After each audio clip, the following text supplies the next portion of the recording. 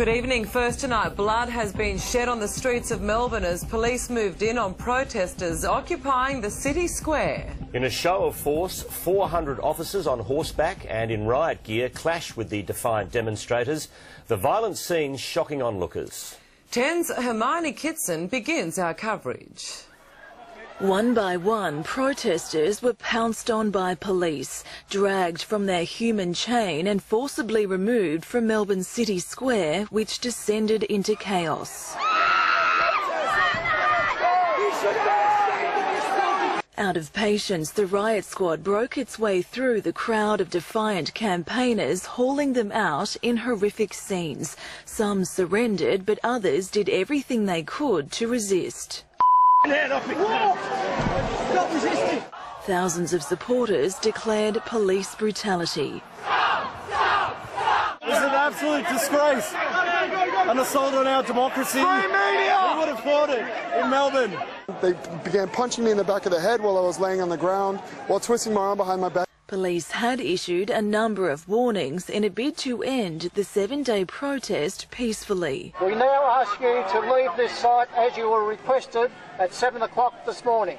But as the hours laboured on, that looked increasingly unlikely, and as protesters were fenced in, the battle lines were drawn. This is the beginning of the end of the tense standoff as police finally move in and break up the protesters' barricade.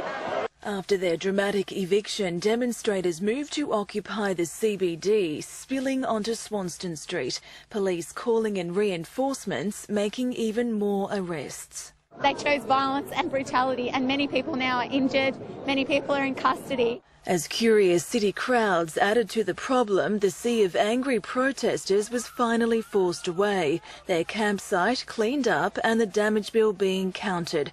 But police fear the simmering anger over today's chaos will lead to more action. Hermione Kitson, 10 News. And the unrest continues in the city as we go to air tonight. 10's Melanie Davies joins us from Swanston Street. Mel, the crowd there seems fairly stubborn. Are there still arrests underway? Yes, Stephen. Well, in the last few minutes, police have pushed the crowd on from the corner of Bourke and Swanston Street and they're moving them up towards the State Library. You can probably see here they've made some progress, but violence has once again erupted here on the streets of Melbourne. When police held a press conference at about 3 o'clock, they told us so far there'd been 20 arrests, but I can tell you in the last few minutes we've seen many more. In fact, there's a divisional van just here. We've just seen a man who's come back. He's had his water, his eyes washed out with water because he was sprayed with capsicum.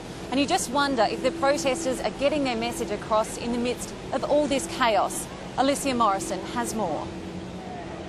Authorities' patience ran out after a week of occupation.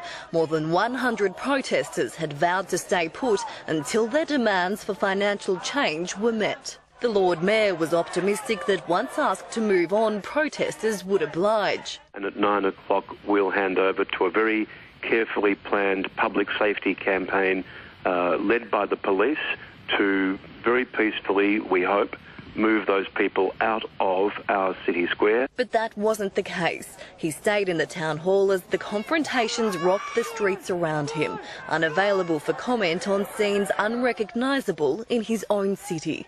Until now, daily protests had been peacefully controlled. Police standing by today's crackdown. No, we haven't used excessive force. Now, we had a large crowd of people. It's very difficult to move in and separate people that don't want to move. Protesters had been campaigning for an end to corporate greed, but had trouble gaining political support. But if the economy's not growing, then there's no there's no proceeds to share around. But now they've gained support of a different kind. Two Melbourne law firms already confirming they're willing to represent injured protesters. Occupy movements around the country not deterred by the violence in Melbourne. We're going to stand strong and and keep watching this Occupy Together movement grow. Alicia Morrison, 10 News.